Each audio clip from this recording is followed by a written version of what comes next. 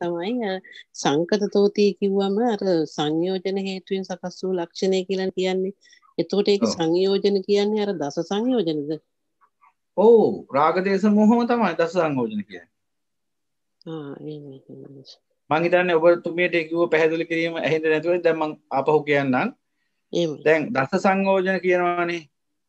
ඔව්. මේ සංයෝජන කියන්නේ මේ සංයෝජනයක් කියන්නේ යම්කිසි ඒක රාශි කිරීම මුසු කිරීමක්. සංයෝග කිරීමක් කියන අදහසන සංයෝජනය කියන එක බැඳීමක් ගැට ගැහීමක් බන්ධනයක් කියන ලක්ෂණයක් තියෙනවා.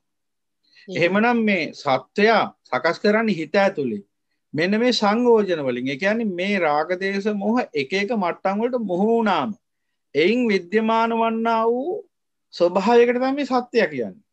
එහෙම නැතුව මේ සිතටවත් කායටවත් නෙවෙයි මේ සිත කය දෙක සංයෝජනයන්ගෙන් ක්‍රියාත්මක වෙන ලක්ෂණයට තමයි සත්‍යය කියන්නේ. එතකොට සත්‍යය කියලා 아무තු කෙනෙක් නෑ. සත්‍යය කියන්නේ රාගදේශ මොහොල ක්‍රියාකාරීත්වයට නම. එහෙනම් මේ රාගදේශ මොහොම තමයි සංයෝජන. මොකද දස සංයෝජන ෂය කරාම නිවන. එහෙනම් රාගක්කයෝ දේශක්කයෝ මොහක්කයෝ නිබ්බාන. රාගයේ දේශයේ මොහි ෂය කිරීම නිවනයි. එහෙනම් දස සංයෝජන ෂය කිරීම නිවනයි. එහෙනම් රාගදේශ මොහ කියන්නේ දස සංයෝජන වලටම නම. එහෙනම් සක්කාය දිට්ඨි විචිකිච්ඡා සීලබ්බත පරාමාස කියන සංයෝජන තුනයි තියෙනවා මෝහට මෝහයට. ඒවා මෝහ මූලිකයි. ඊළඟට කාම රාගය රාගයට අයිති වෙනවා.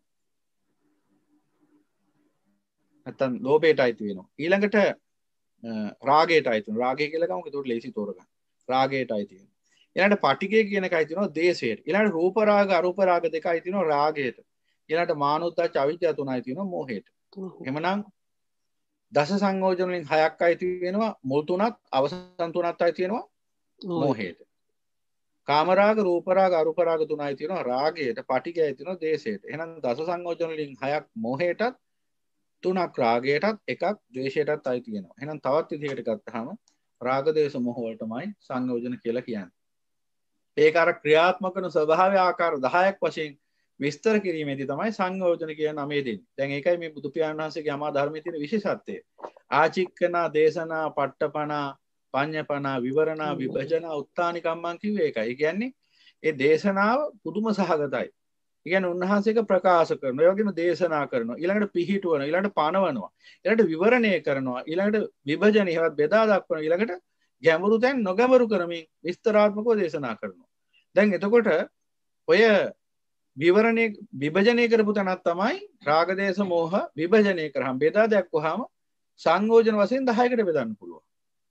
එනම් අන්නේ විභජනය කියන ඒ උතුම් වූ ලක්ෂණය තමයි ධර්මය තියෙන අන්නේ ලක්ෂණයයි එතිනින් පෙන්නුම් කරන්න හෙමනම් ඕනම එකක් එහෙම පුළුවන් හොම එක ඕනම ඔවිදිටම ඔයිදිට පුළුවන් පංච නීවරණත් පංච නීවරණත් පුළුවන් රාගදේශ මොහතුනට බෙදා දක්වන්න. කාමච්චාන්දය කාමච්චාන්දය අයිති රාගයට ව්‍යාපාදය අයිති දේශයට.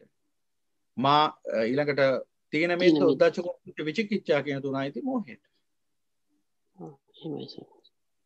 ඉතින් ඒක නිසා දකිින්ට ඕන ඒ ඒ අවස්ථාවන්ට අනුකූලෝ පටිසමපාදය ක්‍රියාත්මක වන ක්‍රම රටාවට අනුකූලව ඒ ඒ හේතුඵල ධර්ම ගොඩනැගෙන රටාවට අනුකූලව ඒ ඒ ධර්මයන්ට ඒ නන් ලැබුණ මිසක් මේ එකම කාරණාවක් තමයි මේ විස්තර වෙන්නේ කියලා නන් ආකාරයෙන්.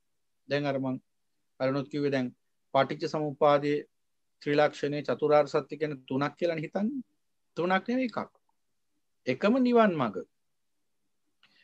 ආර්ය සත්‍යයන් වශයෙන්. ඒ කියන්නේ බණ අසන ලද බණ අසන ලද බුද්ධ ශ්‍රාවකයන් දකින සත්‍යයන් වසයෙන් විග්‍රහ කළොත් හතරයි. චතුරාර් සත්‍යය. ඊළඟට බානාසන ලද ආර්ශ්‍රාවකයන් දකින ලක්ෂ තුනක් වශයෙන් විග්‍රහ කළොත් තුනයි. ත්‍රිලක්ෂණ අනිච දුක්කනත්ත.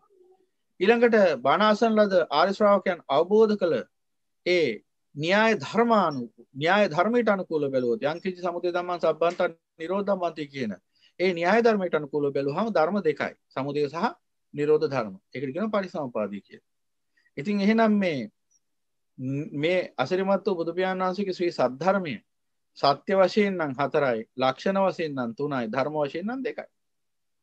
ඉතින් මේ තුනක් නෙවෙයි එකක්. ඒ ඒ අවස්ථාවන්ට අනුකූලව ඒ ධර්ම විග්‍රහවෙදි තමයි ඒ පුද්ගලයාගේ ශ්‍රද්ධා වීර සති සමාධි ප්‍රඥා කියන ඉන්ද්‍රිය ධර්මයන්ට ගැලපෙන ආකාරයෙන් ඒ ධර්මයේ දේශනා කරද්දී කොයි පරයයෙන්ද ධර්මයේ දේශනා කරන්න කියලා උන්වහන්සේ තීරණයක් ගන්න. ඊට අනුකූලව තමයි කෙනෙක්ට චතුරාර්ය සත්‍යයෙන් දේශනා කළා කෙනෙක්ට පටිසමුප්පාදයෙන් දේශනා කළා කෙනෙක්ට ත්‍රිලක්ෂණයෙන් දේශනා කළා කොයි පරයයෙන් දේශනා කළත් එකම දහම තමයි දේශනා කළා තියෙන්නේ. ඉතින් සංගත දෝති කියන්නේ මේ රාගදේශ මෝහවලින් එහෙමනත්ත මේ සංයෝජන වලින් සකස් කරපු ලක්ෂණ මේ සියල්ල රාගදේශ මොහොල ප්‍රතිඵලයක් දැන් අපට මේ මහපොළොවේ පේන දුහවිලි අංශුවක් පවා මේ සත්‍යයාගේ රාගදේශ මොහොල එමෙත්ත මේ සංයෝජන වල ප්‍රතිඵලයක්. එකයි සංකත තෝති කියන්නේ. මේ සකස් වෙච්ච හැම දෙයක්ම සකස් වෙලා තියෙන්නේ කර්මයෙන් කර්මයෙන් සකස් වෙච්ච සියල්ල සමුදය වුණේ රාගදේශ මොහ සංකාර ශක්තිය. එහෙම නැත්නම් රාග දේශ මොහ චේතනා තුලින්. එහෙනම් රාග දේශ මොහ චේතනා තුලින් කර්මය සකස් කළා කර්මෙන් ලෝකේ සකස් කළා. එහෙනම් මේ ලෝකේ අපිට දකින්න ලැබෙන හැම සංකතයක්ම රාග දේශ මොහල ප්‍රතිඵල ඒකේ අදහස තමයි සංකත තෝති කියලා කියන්නේ.